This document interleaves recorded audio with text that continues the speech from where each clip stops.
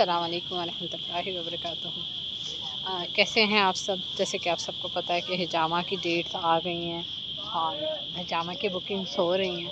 तो हिजामा is the best and ultimate detox so book your apartment